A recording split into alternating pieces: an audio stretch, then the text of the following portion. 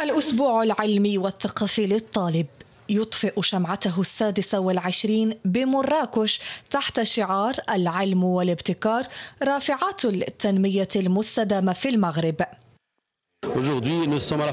نحن اليوم في هذه التظاهرة التي تندرج في إطار الأنشطة الثقافية والعلمية للكلية والتي تهدف بالأساس إلى تحفيز وتشجيع الطلبة على استيعاب مفاهيم الابتكار.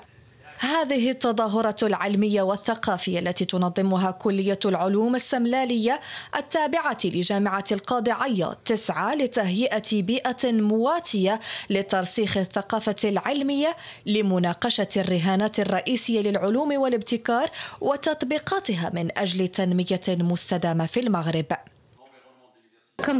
كما العادة الأسبوع العلمي والثقافي للطالب يتم تنظيمه من قبل الطلبة ومن أجلهم قصد تعزيز مهاراتهم عبر إنجاز مشاريع حول شعار الأسبوع.